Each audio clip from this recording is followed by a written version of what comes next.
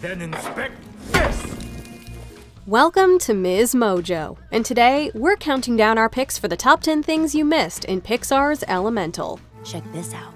For this list, we'll be looking at small details and references from this 2023 Pixar film. These Easter eggs are anything but elementary. Did any little details spark your attention? Let us know in the comments. Number 10 A City of Puns. This film overflows with elemental based puns, many of which light up the backgrounds.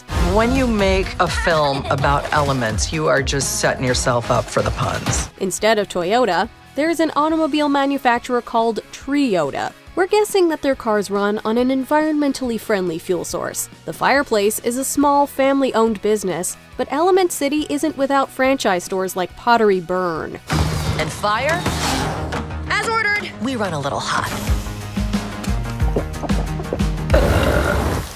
The puns keep blazing across the end credits. We can't imagine how a retailer like Wicks R Us can survive in this economy, but they can always take out a loan from the Wells Fargo Bank. If Element City ever becomes a Disney theme park attraction, we hope that they sell lighter finger candy bars and Colgate toothpaste for afterward. Puns are the glue that holds this world together. Well, that and scorch tape. You're so hot. Excuse me?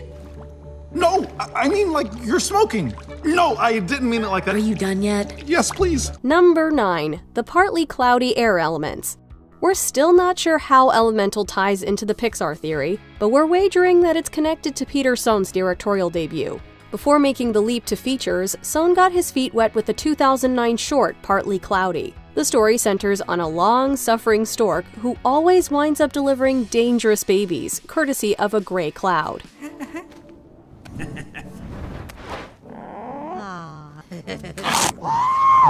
In addition to including a partly cloudy poster in Elemental, the air characters closely resemble the clouds from Sohn's short. Air usually has their head in the clouds.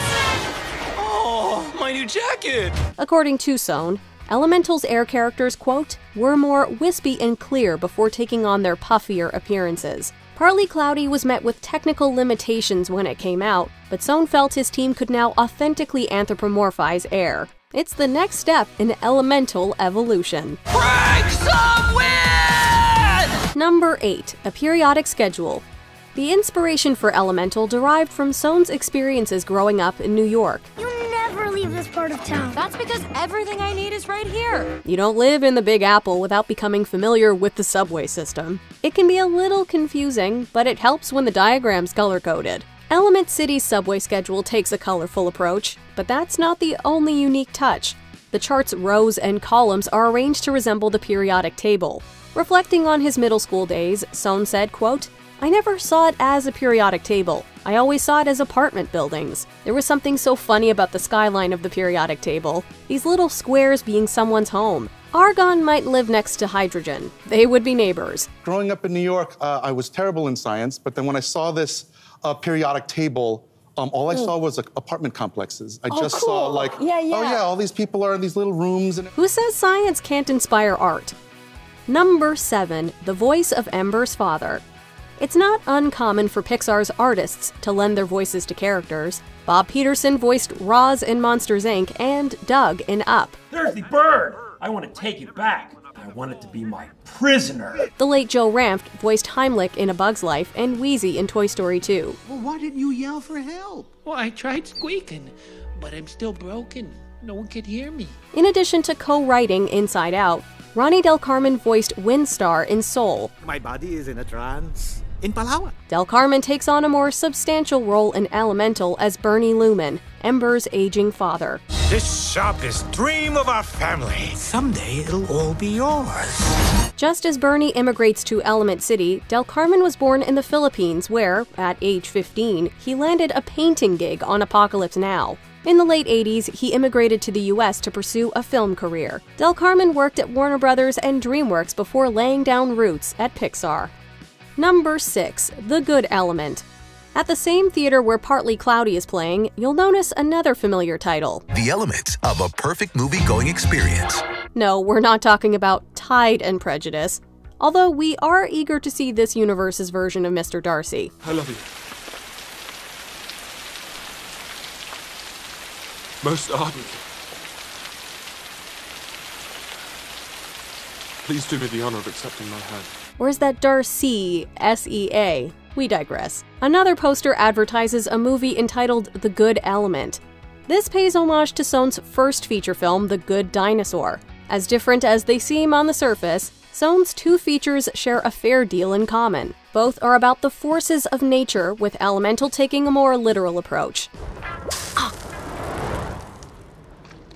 Sorry. The two films also center on characters working through prejudices to coexist. You! I should have killed you uh, the first time! Uh, this is all your fault! We imagine that the good element has a similar setup, but what are dinosaurs comprised of in this world? Maybe an extinct fifth element. Number 5 A Language of Ice and Fire. Upon arriving in Element City, Ember's parents stick out from the crowd. This isn't just due to their physical appearances, but because of the language barriers. Where everyone else speaks English, Mr. and Mrs. Lumen talk with a fiery lingo. The fire language isn't gibberish. To make this world feel more authentic, the filmmaker sought out renowned conlanger David J. Peterson, who's created languages for projects like Dune, The Hundred, and Raya and the Last Dragon. But the rest of them are being held by a bunch of no good Binturis. Binturi? Now that's not a very nice way to describe an old friend. Peterson is best known for his work on Game of Thrones, conceiving Dothraki, High Valyrian, and other languages. Dracarys. At one point, the Elemental team used fire sound effects as a means of communication. Ultimately, the sounds would inspire Peterson while crafting a native fire language known as Fireish. But we all live by one simple rule elements cannot mix. Number 4 Blue Flame Souvenir. Elemental is yet another Pixar film that gets Asian representation right. This hot streak arguably started with Domee Shi's Bao, so it's only fitting that Elemental sneaks in a reference to that Oscar winning short. The blue flame is a sacred symbol that connects the Lumens to their homeland, but that doesn't mean they can't merchandise it.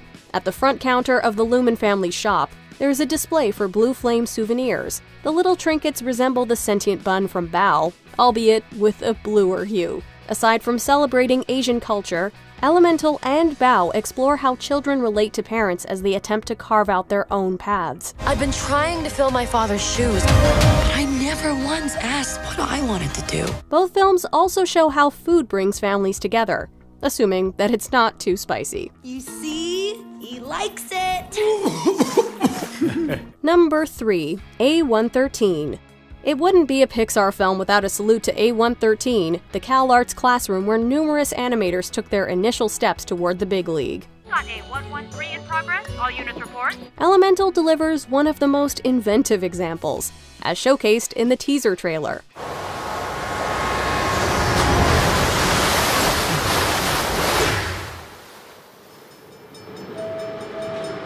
On the subway, you might have spotted the letters A, H, and AL. They may seem like random letters until you take a closer look at the periodic table. H notably represents hydrogen, the first element. Al is aluminum, the 13th. A alone doesn't stand for any element, but when you add 1 and 13, you get one of Pixar's longest running in jokes. Sorry, buddy. Elements don't mix. Number 2 Ralph's Cafe. We mentioned a few businesses that make up Element City, but Ralph's Cafe will likely resonate the most with animation fans.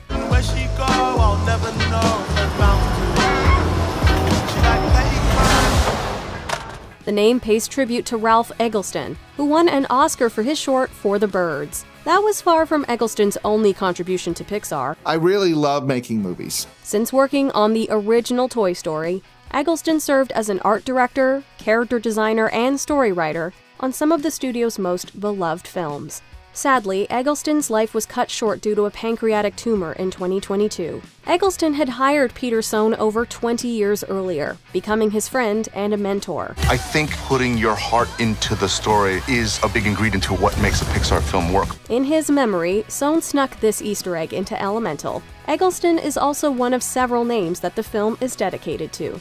Before we continue, be sure to subscribe to our channel and ring the bell to get notified about our latest videos. You have the option to be notified for occasional videos or all of them. If you're on your phone, make sure you go into your settings and switch on notifications. Number 1. Elio. It's tradition for Pixar films to tease what's coming next. Uh. The talk of the Communiverse. If Mom could see me now. In Lightyear, the vending machine contains an elemental product called Wade Water. Anyone go for a snack? Wade takes center stage alongside Ember and Elemental. During a flashback, we see a young Wade develop a fear of sponges. Water is always getting into something.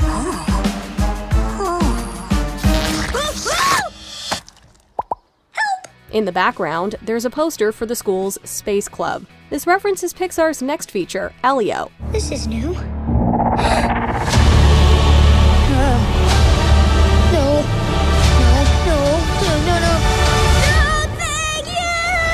Set to come out in 2024, this sci fi film centers on an 11 year old misfit who's sent across the galaxy. Having a close encounter with aliens, the titular character is mistaken for Earth's ambassador. Until that film comes out, we're just wondering how Element City's space program works. Considering what happens to water in space, it's safe to say Wade will never be an astronaut.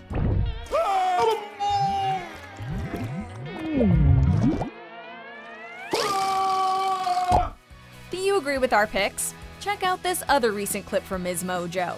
And be sure to subscribe and ring the bell to be notified about our latest videos.